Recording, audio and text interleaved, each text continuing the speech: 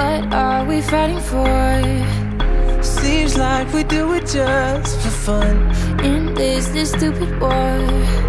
We play harder with a plastic gun.